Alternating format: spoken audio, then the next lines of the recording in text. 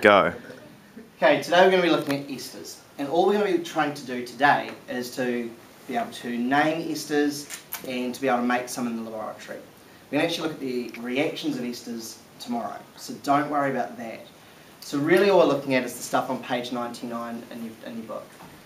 First thing for us to know is our functional group, which is one you met last year, so it shouldn't be new to you.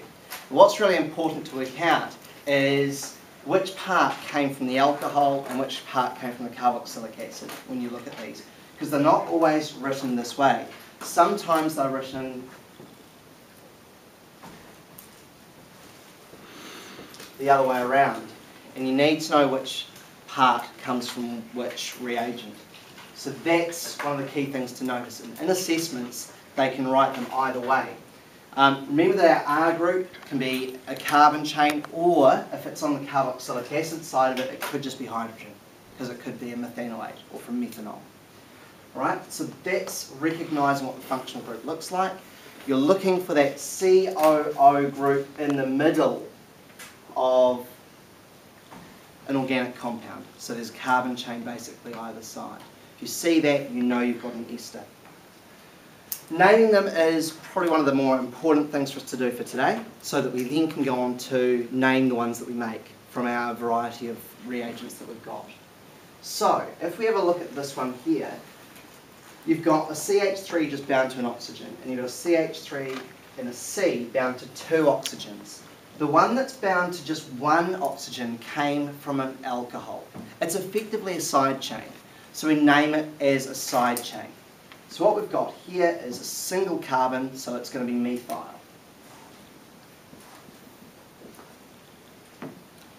Then we have a look at the rest of it, and it's CH3COO. And we've met that before when we did carboxylic acids. It's the conjugate base of the carboxylic acid. So therefore, naming that one shouldn't be too hard. Two carbons, so it starts with the prefix eth, and then if it's the effectively the conjugate base of the acid, it becomes ethanoate. So the way that you'd name the conjugate base, the ion, the, uh, the ethanoic, sorry, ethanoic acid would make.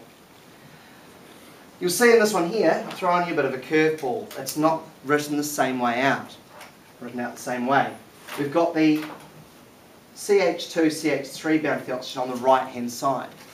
So this is the part that came from the alcohol.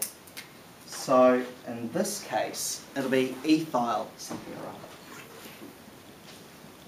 Ethyl because it's got two carbons. Then if I have a look at the part that's got the two oxygens bound to it, that's got three carbons, make sure you remember to include this one. Because one of the mistakes I used to make when I was at school is I always forgot about the carbon that's actually bound to the two oxygens. So it's one, two, three, so here we're going to be looking at propanoate.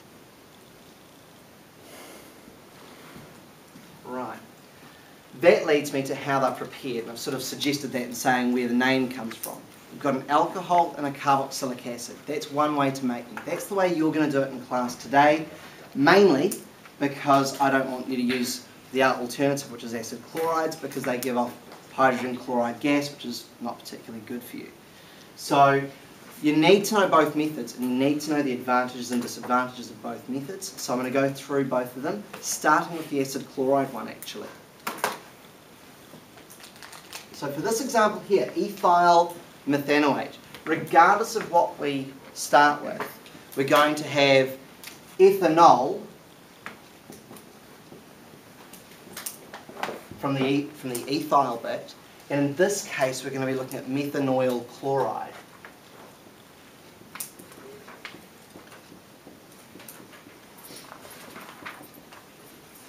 So to understand why this works, it's probably best to do an equation.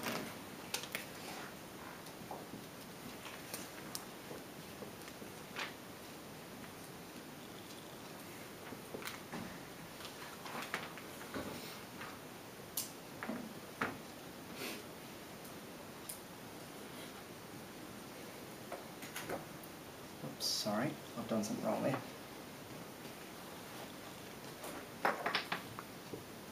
Okay, so I've got methanoyl chloride, so the, the acid chloride version of methanol, uh, methanoic acid, and I've got my ethanol. What's going to happen when these two react is that HCl gas is going to be liberated or, or given off. And so that just comes from here. And what makes this the preferred way, if it was safe enough, is that this is a reaction, it's not an equilibrium. Okay, it's a forward reaction only.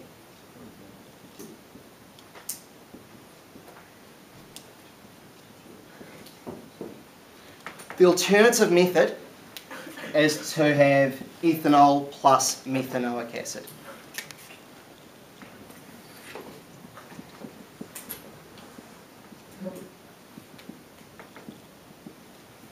So same idea, I'm going to do the more abbreviated structures for this one.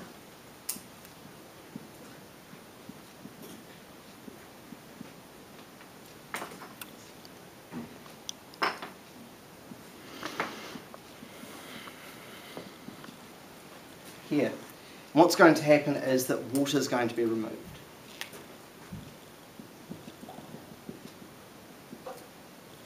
But in this case, it, it doesn't just go in the forwards direction.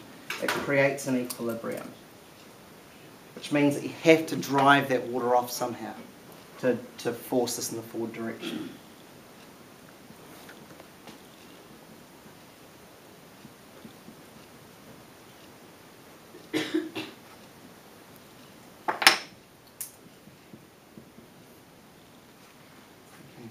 The last thing I'll say is that when you're doing this second procedure here, you should do it under distillation. And we're going to have the gear to do that today. You're going to do it under distillation because the reaction requires heat energy to occur and we use distillation not reflux because the, the product that we're making has got a low boiling point. So therefore we can collect it once it's made while the reagents will keep uh, recondensing and keep on reacting.